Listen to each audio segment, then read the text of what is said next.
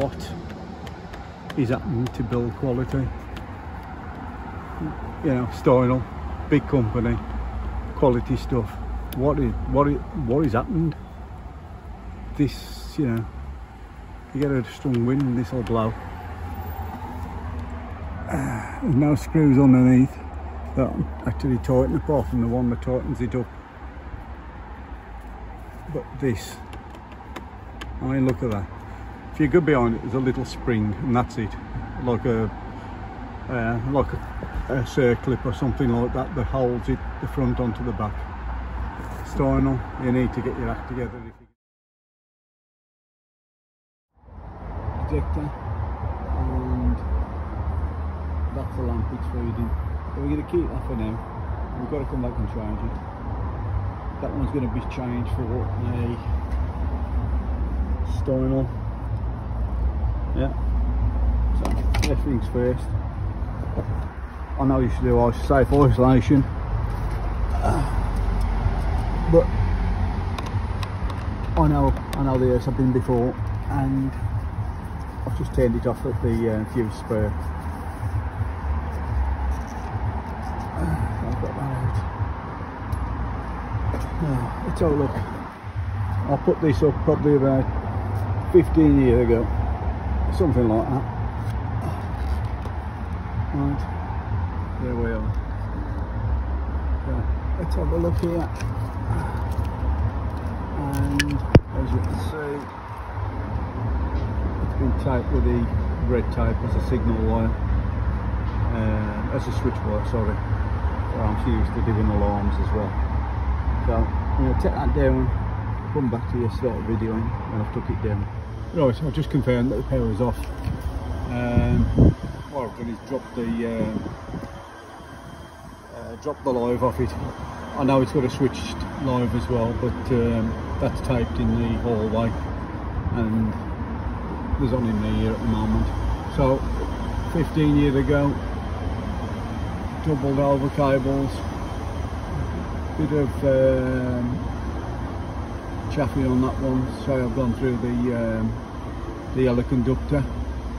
Uh, but the, there again, it's actually touched and I think it was hitting the second screw in the junction in the terminal block anyway. Anyway, that's got to come down now. Be back in five minutes.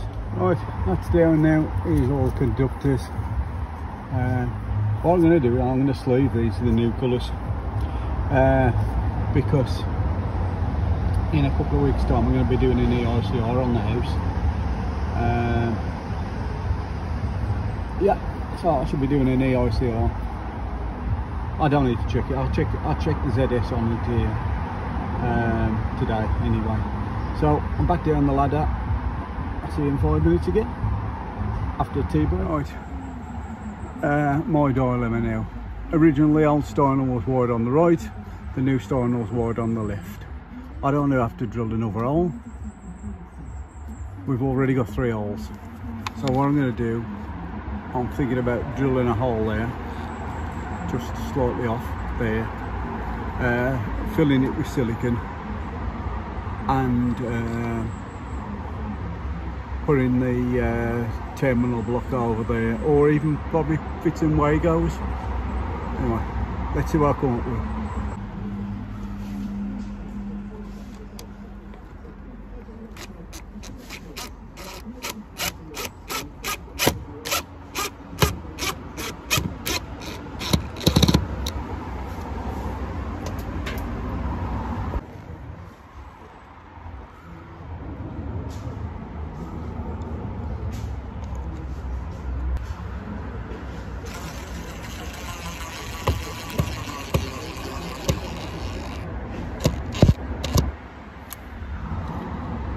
that's what I've chose to do. I think I left the camera on it, but basically it's I put the um, um, you know chocolate block on the um, two spikes at the back anyway and that's fitted on and that's secured it anyway so it ain't going nowhere inside and in some ways that's a I've sealed it with uh, the acrylic uh, foil mastic it's done the job. Uh, I'm going to turn it on now. I'll come and change that.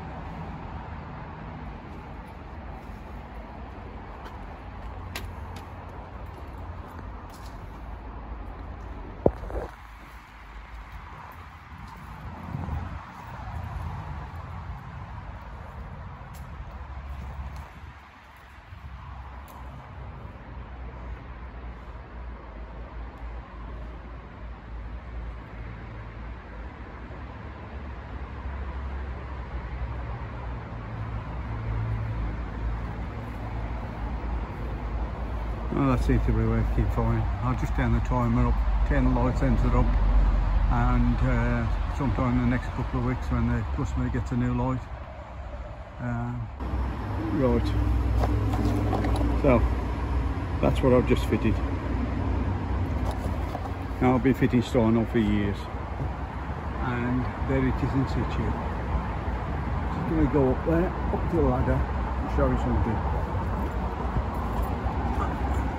Right.